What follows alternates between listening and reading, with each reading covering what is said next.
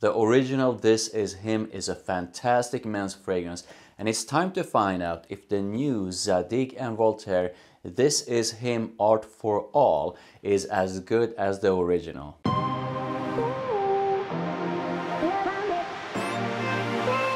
Hi, welcome to Rotten Rebel. Number one, hit that like.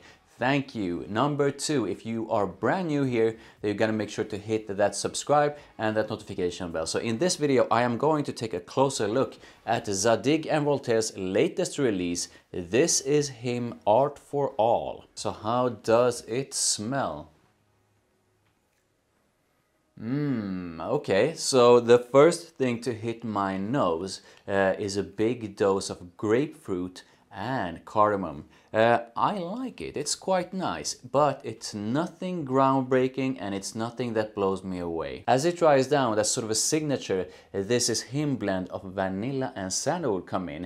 Uh, and if you ever smell the original, you'll recognize it in this one.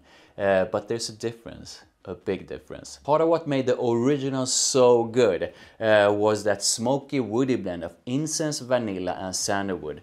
Uh, to my nose, Art for All lacks that dose of incense uh, and the vanilla is a touch less sweet than the original. So what I get here is a dry combination of sandalwood and vanilla with the citrus and it's good. This to me feels like a more refined and mature version of the original and I also feel that Art for All is more versatile than the original. Uh, use it when you are going to work, use it when you are going on a date or when you are going out with your friends. Uh, and I feel that it works pretty much in any situation and for any season. The performance on my skin is slightly above average. It's not bad in any way, but it's not as loud as the original. Art for All is a solid release from Zadig and Voltaire. It strips away the incense from the original and focuses on a spicy blend of sandalwood, vanilla and grapefruit that pretty much works in any situation. If you love the original and want a version without that big dose of incense,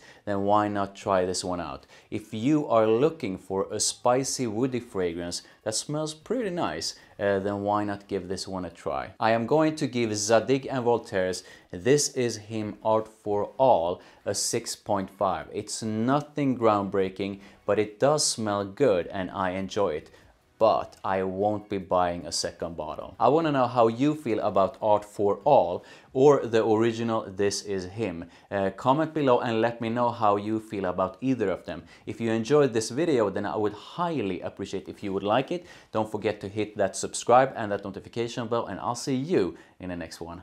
Bye.